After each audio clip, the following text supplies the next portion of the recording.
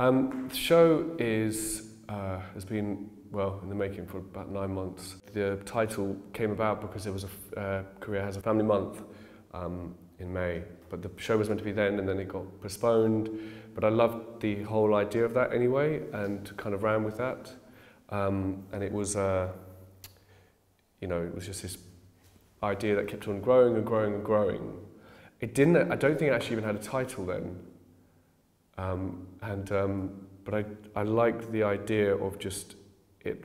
You know, I mean, my work is quite, you know, it's got a very, it's got quite a dark side to it, but it does on the surface have you know a very light side to it. Um, and just the idea of myths, heroes, and mad scientists was because I was doing all these drawings and um, and just coming up with all these different characters and everything. And then I just found that putting all the different aspects together, it was kind of like a Frankenstein, mad scientist kind of thing. And I just felt like the whole uh, title just encompassed the whole show. And you know, do, I think I've done the show twice. I probably wrecked, I probably destroyed about three quarters of it and started again. So it's been, um, you know, uh, just through a lot of filters, uh, which has been great having the time because otherwise it would have happened in May, and it wouldn't have been uh, as strong because it would have been rushed. And you know, thanks to COVID, um, it was uh, it really um, enabled me to you know spend more time on the show instead of instead of um, instead of just quickly getting it out.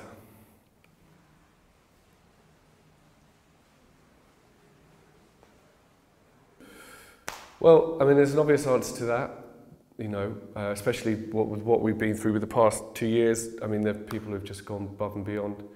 Um, you know, and I think the world's seen a lot of heroes in the past two years, but you know, the, there's also the, the hero factor that which I've brought into this, which is um, just about uh, like the superhero that we all, as children, we grow up and see, and we kind of want to, you know, embody embodied when we um, when we get older, and those tiny little um, those little things that they give us, we um, we take them kind of like onto ourselves, and we never, you know, like justice and all these things, and and we just kind of hold on to them as we get older. And I don't think we realise that. It's very subconscious, and um, and uh, you know, growing up with like Batman, Superman, they all have these like philosophies and and um, it's kind of like a you know like a religion, like the uh, Twelve Commandments. But we we we take them and we you know we grow up with them, and I don't think that we just actually notice that that really kind of has an impact on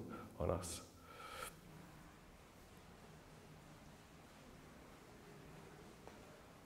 To be honest, there's two. Oh, I had 10,000 peppercorns in a blender. Um, that was the first painting I did for the show, and it kind of set the tone. Because usually, actually, I do the, um, the backgrounds are quite, you know, they're, they're made on the floor and, you know, a bit of colour and everything like this. And, but um, these are actually just done um, straight onto the canvas. And I really liked that, like a bit of a change. And it kind of um, made me work a bit more minimalistic at the beginning, but then towards the end, it just it's, it switched again. But um, um, that one and the kind of title piece on the banner. Oh, uh, Pray for Grey.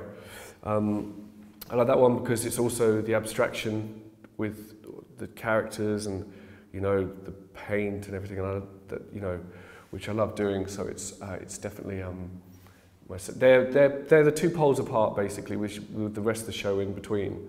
So I, those two are probably my favourites. They're the two bookends, which I really.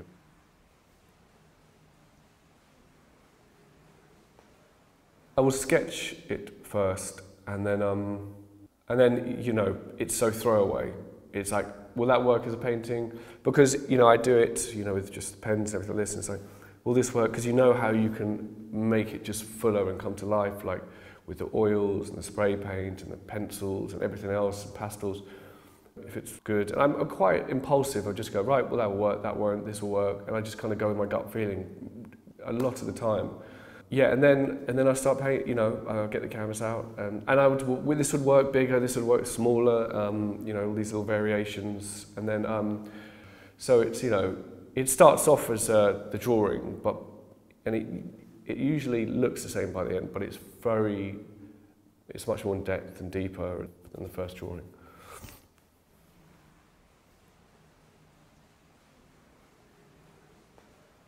I mean, it's you know, I love the, the fact of it just being a, an image and the, you know, it being dynamic.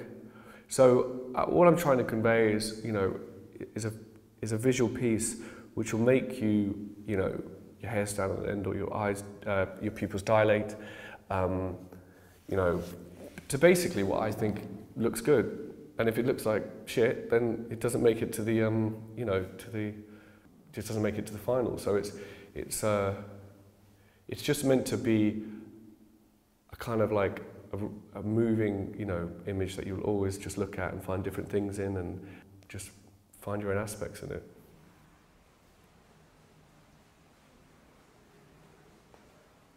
The hardships are that you, you know, you have extremely, you have some real lows, but you have some real highs, and that just comes with the job. Like writer's block, but it's basically artist's block, but it, it just, you know, or where you just think all your work's bad, and then you, you know, and then you're on cloud nine and you think it's all good, and you go through these waves. But I think as older I've got, you've just learned to to manage them and and um, you know just push on through. But you know there are days when you just um, are uh, you think like yeah, what am I doing? And um, but it's like anything I think, and it's um, you know it's just finding the good balance between it, and um, you know, and I'm just so lucky to have what I consider one of the best jobs in the world. So um, you know, I'm very thankful that I get to share my art with the rest of the world.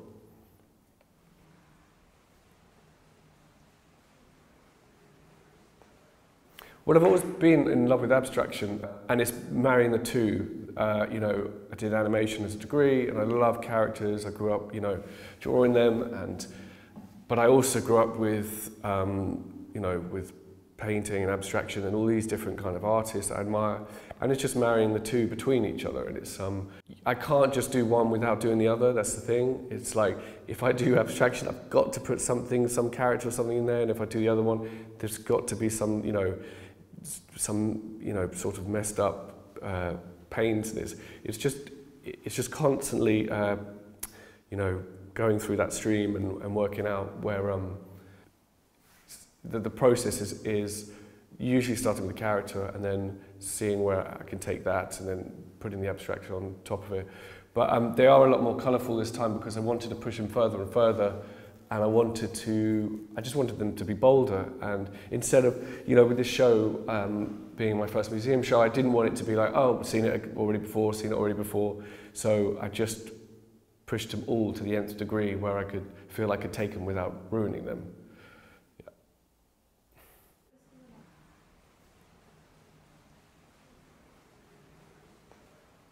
It's been a long road, you know, been a very long road. And um, and like anything, I think if you just pursue it and you have a love for it, eventually you'll get there. And it's just practice at the end of the day. It's like anything, like if you're going to become the best doctor in the world or the best architect, you know, you have to practice. And it's, you know, uh, unfortunately, my practice, you see the workings out throughout my life, and you, you know, you can go back in time and see paintings which I would uh, throw in a blender now.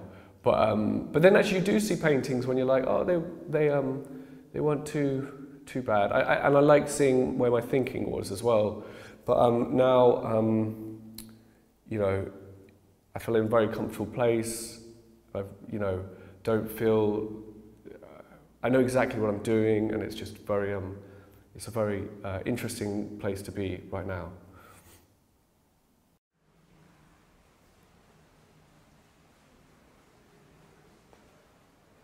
Go on holiday.